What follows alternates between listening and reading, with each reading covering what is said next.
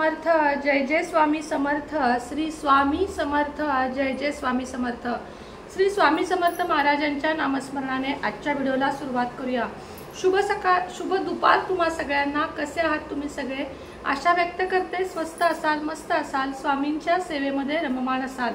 बोलता बोलता दुसरा श्रावणी सोमवार आला आणि दुसऱ्या श्रावणी सोमवारी काय काय करायचं आहे तीच माहिती मी तुम्हाला देणार आहे.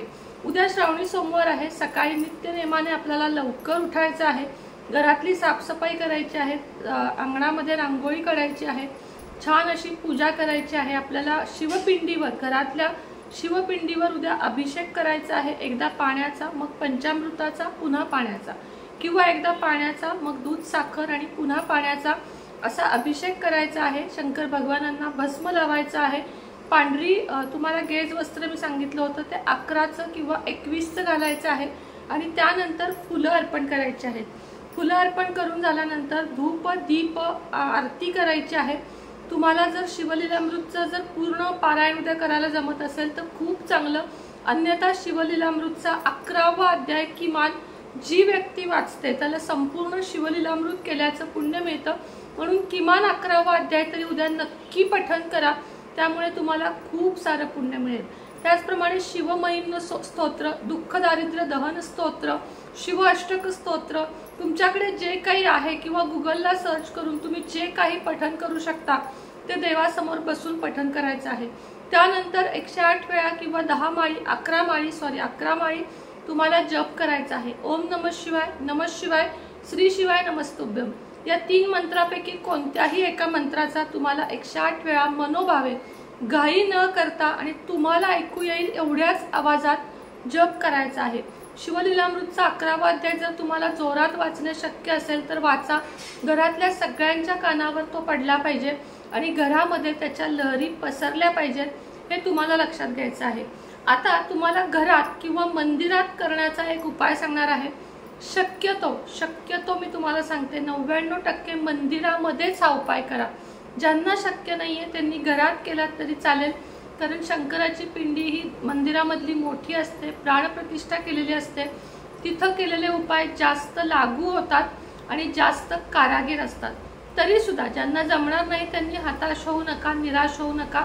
त्यांनी घरातल्या पिंडीवर मनोभावे पूजा केली तरी चालेल. शेवटी पूजेला महत्त्व आहे. तर उद्या तुम्हाला काय करायचं आहे? शिवामूठ वगैरे वाहून झाली की लोकांना प्रश्न पडतो शिवामूठ वाहिल्यावर पण उपाय करायचा का? तर हो शिवामूठ वाहिल्यावर सुद्धा त्याच्यावरच तुम्ही हा उपाय करू शकता. यासाठी तुम्हाला परत पिंडीचा अभिषेक वगैरे करण्याची गरज नाहीये. शिवामूठ वाहून घ्या सगळी पूजा करून घ्या.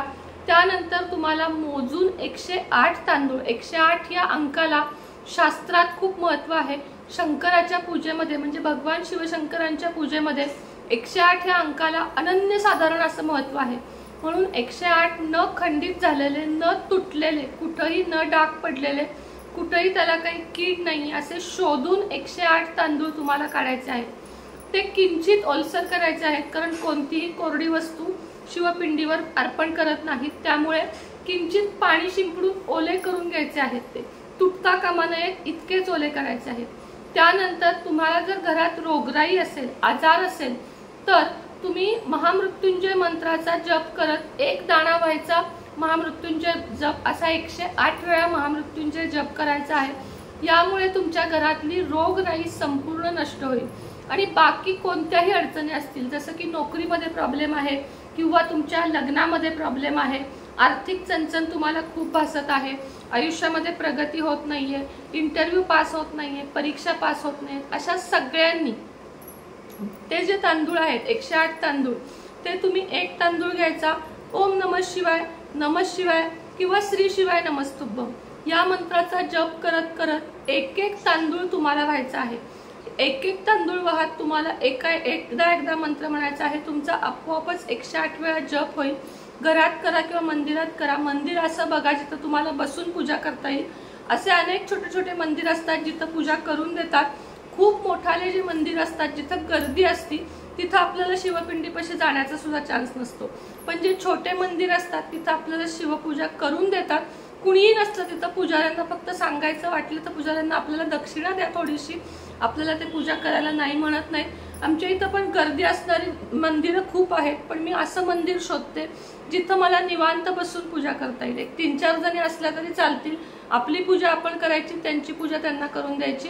कुणाच्याही केलेल्या पूजेवर पूजा करायची नाही तर सगळ्यात आधी एक लोटा पाणी पहिल्यांदा पिंडीवर चढवायचं पिंडी स्वच्छ करायची आणि त्यानंतर आपली पूजा करायची. समजा एकावर एक म्हणजे त्याच्यावर बेलपत्र वाहिलेत त्याच्यावरच तुम्ही तांदूळ वाहताय असं करायचं नाही. शक्यतो असं करायचं नाही पण तसा जर तुम्हाला वेळ मिळत नसेल समोरचे करून देत नसतील तर तसंच केलं तरी चालेल. शेवटी मनोभावे तुम्हाला सेवा करण्याला आपल्याला महत्त्व आहे. जास्त सुद्धा आपण नियम पाळत बसलो तर सेवेपासून आपण वंचित राहू शकतो. त्यामुळे सेवा करताना नियमांपेक्षा भक्तिभावाने सेवा करा. आणि तुम्हाला भगवान शिवशंकरांजवळ इच्छा बोलून दाखवायची आहे की माझ्या या या अडचणी आहेत इच्छा आहेत. कितीही इच्छा असू शकतात तुमच्या दहा बारा पंधरा वीस त्या सगळ्या इच्छा थोडक्यात तुम्हाला शिवमंदिरात बोलायच्या आहेत. आणि हे बोलेनाथा हे भोळ्या शंकरा माझ्या या सगळ्या इच्छा पूर्ण होऊ दे. मी ही सेवा केलेली आहे ही सेवा वाया जाऊन देऊ नको असं मंदिरात सांगायचं आहे. भगवान भोलेनाथ हे अतिशय भोळे आहेत आणि आपल्या प्रत्येक मनोकामना ते पूर्ण करतात. जसं आपण शिवपिंडीत म्हणजे मंदिरात जाण्याआधी नंदीचं दर्शन नेहमी घ्यायचं असतं त्याशिवाय शिवपिंडीपाशी जायचं नसतं. सगळ्यात आधी नंदीचं दर्शन घ्यायचं नंदीला चंदन भस्म अष्टगंध लावायचा. जे काही तुम्ही नेलं असेल ते बेलपत्र फूल आधी नंदीला व्हायचं. नंदीच्या कानामध्ये आपली इच्छा बोलून दाखवायची आणि त्यानंतर आतमध्ये जायचं. सगळ्यात आधी मान हा नंदी बाबांचा असतो. नंदी महाराजांची पूजा केल्याशिवाय कधीही शिवमंदिरात जाऊ नये हा नित्यनियम आहे. त्याचप्रमाणे घरामध्ये नंदी असावा का? तर घरामध्ये नंदी नाग हा नसावा. आणि तुम्ही म्हणता की तुळशीमध्ये शिवपिंडी ठेवली तर चालेल का? तर नाही. शिवपिंडी ही आपल्या मंदिरातच ठेवायची असते. शाळीग्राम जर तुम्ही तुळशीमध्ये ठेवला तर चालतो. पण माझा स्वतःचा शाळीग्राम सुद्धा रोजच्या पूजेमध्ये देवघरामध्ये आहे. फक्त असं म्हटलं जातं की शाळीग्रामाची पूजा स्त्रियांनी करू नये. त्यामुळं आपण जर पूजा करत असू तर त्याला नुसतं फूल व्हावं त्याचा अभिषेक वगैरे आपण स्वतः करू नये. पिंडी पिंडी कधीही तुळशीमध्ये ठेवू नका. ज्यांची असेल त्यांनी ताबडतोब काढा. उद्याच्या सोमवारी देवा मंदिरामध्ये ठेवा. देव असा बाहेर नाही ठेवायचा. फक्त तुलसी माता सूर्य चंद्र हे जे देव आहेत ते असे बाहेर चालतात. बाकी तुम्ही कोणतेही देव बघा छायाछत्र छत्र असल्याशिवाय ते ठेवत नाहीत. त्यामुळे जर तुम्ही पिंडी चुकून माकून ठेवली असेल तुळशीमध्ये तर ती काढा आणि त्याच्या उद्याच्या उद्या तुम्ही मंदिरामध्ये ठेवा. त्याचप्रमाणे उद्या तुम्हाला दुधाने दह्याने सांगितल्याप्रमाणे अभिषेक तर करायचाच आहे. जास्तीत जास्त शिवशंकराचं नाव घ्यायचं आहे. जी मुलं रात्री स्वप्नात उठतात किंवा दात खातात दात खाण्याची ज्यांना सवय असते त्यांनी शिवपिंडीवरून थोडेसे तांदूळ आणायचे आणि ते मुलांना खायला द्यायचे. मुलांचे दात खाणं म्हणजे किरकिर असा आवाज येतो बघा रात्री झोपल्यावर. तर त्यांचं ते बंद होतं आणि मुलांच्या त्या अडचणीमध्ये फरक पडतो. शक्य झालं तर आपल्या मुलांना मुलींना जे कोणी आपल्याला आहेत घरातली त्या सगळ्यांना घेऊन मंदिरामध्ये जावा.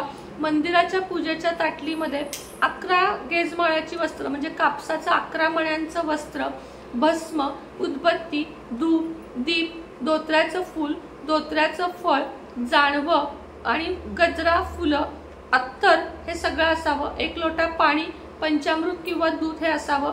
घरातूनच एक लोटा पाणी न्यायचं आहे. मंदिरातलंच पाणी घेऊन मंदिरामध्ये चढवायचं नसतं.